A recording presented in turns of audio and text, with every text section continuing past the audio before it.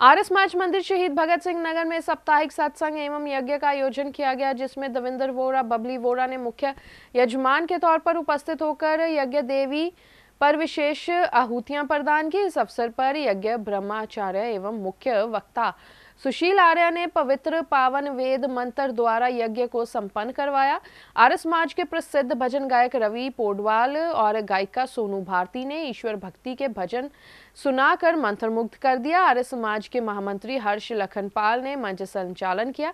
आर्य समाज के प्रधान रंजीत आर्य ने आए हुए सभी याज्ञिक परिवारों का धन्यवाद व्यक्त किया। इस अवसर पर ओम प्रकाश मेहता, भूपेंद्र उपाध्याय, विजय कुमार चावला, चौधरी हरिचंद, सुनीत भाटिया अनुआर्य केदारनाथ शर्मा, सुनीता रानी, पूनम मेहता, हजारीलाल शर्मा नलनी उपाध्याय जसविंदर कालिया, बैजनाथ राजीव शर्मा वेद प्रकाश भाटिया, पवन महाजन, बबलू यादव सहित आरएस माज के समूह सदस्यगण मौजूद रहे। जलंधर से हलचल के लिए कैमरामैन सुदेश भगत की रिपोर्ट। धर्म का शुद्ध स्वरूप क्या है? ईश्वर भक्ति का शुद्ध स्वरूप क्या है? मानव का कर्तव्य क्या है? मानव को किन कार्यों को करना चाहिए? जीवन का लक्ष्य क्या है? परिवार क्या है? व्यक्ति का जो समझे कि संवर्धन होता है, व्यक्ति का विकास कैसे हो सकता है, समाज का विकास कैसे हो सकता है? राष्ट्र किन कारणों से अवनति को प्राप्त हुआ? इन सब का बड़े ध्यान से अवलोकन विष्णु दयानंद ने किया। और उन्होंने समझ लिया कि जब तक समाज में समानता नहीं आई, और विशेष करके जो हमारी बहनें हैं, हमारी बेटियाँ हैं, अगर इन्हें पढ़ने लिखने का अधिकार नहीं मिलेगा तो ये समाज जो है, ये राष्ट्र जो है इसका निर्माण कभी भी नहीं किया जा सकता। आपको जानकर बड़ी हैरानी होगी, ऋषि दयानंद वो पहले महापुरुष थे जिन्होंने समझ लिया था कि ये राष्ट्र स्वतंत्रता प्राप्त करने के योग्य अभी नहीं बना है।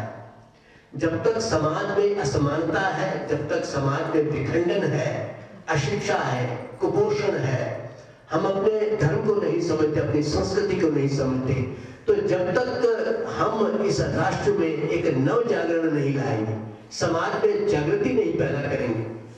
अपने ही लोगों में आत्मविश्वास की भावना नहीं पैदा करेंगे, तब तक ये राष्ट्र जो है, वो स्वतंत्रता प्राप्ति के योग्य नहीं बन पाएगा। स्वामी दयानंद जी के निर्वाण दिवस के बारे में बताया।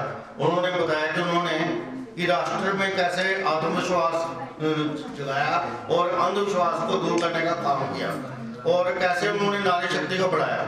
आज आज उन्हीं का परिणाम है कि हमारे राष्ट्र में इतना विश्वास है कि हम आज अंदर जान पर पहुँच गए हैं और हमारी नारी शक्ति भी काफ़ी आगे बढ़ गई है।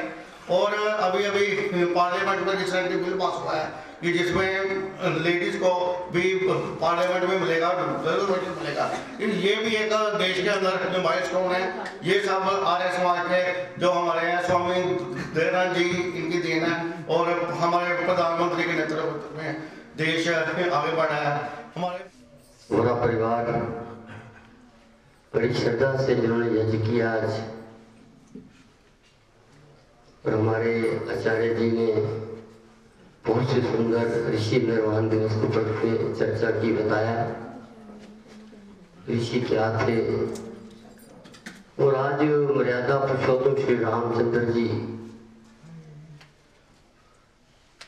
जो चौदह वर्ष का वनवास के बाद जब रावण पर विजय प्राप्त करके अयोध्या आए तो पूरी अयोध्या नगरी में दीप जलाए गए, खुशियाँ मनाई गई। यह हमारी संस्कृति का प्रतीक था, भगवान राम। भगवान राम क्यों कहा गया? वो मर्यादा पुरुषोत्तम श्री राम थे। आज उन्हीं का नाम लेकर हम जब कोई मर्यादा में कार्य करता है तो कहता है, ये मर्यादा है मर्यादा में परिवार है। तो मैं इस दीपावली पर्व की आप सभी को बहुत बधाई देता हूँ। आपके परिवारों में खुशियाँ ऐसे आती रहे, स्वस्थ रहे, निरोग रहे।